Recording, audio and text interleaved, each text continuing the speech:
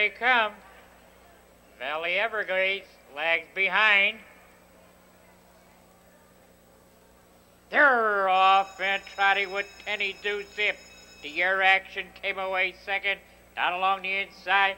Special reporter up to be fourth now. That's Heather R. Three wide around the turn. It's Mark Andrew. Tenny Two Zip's got that lead. Air Action is trotting in second. Up to be second on the outside now. That's Mark Andrew. That's Tenny Two Zip on a short lead. Mark Andrew from the outside now gets that lead. Trotting in second along the inside. That's Tenny Two Zip. Air Action is now racing in third. Special reporter in fourth. In the fifth along the inside. Heather R. Royal Stride now trotting in sixth. Far back is Valley Everglade the first quarter in 30 seconds straight. On the front end, Mark Andrew a length and a half.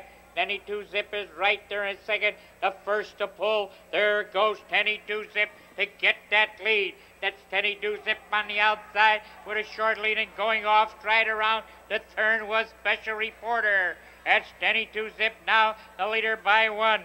Mark Andrew now racing in second with air action in third. Up to be fourth now. That's Heather R. Royal Stride is now in fifth.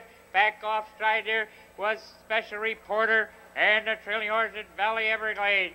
They're halfway around the third with Tenny Two Zip on a short lead. Mark Andrew, the trailer, coming on once again sharply. Four wide around the third. Here comes Special Reporter. They're in the home lane on a short lead. It's Tenny Two Zip, but out in the middle of the track, that special reporter. In between horses is Mark Andrew.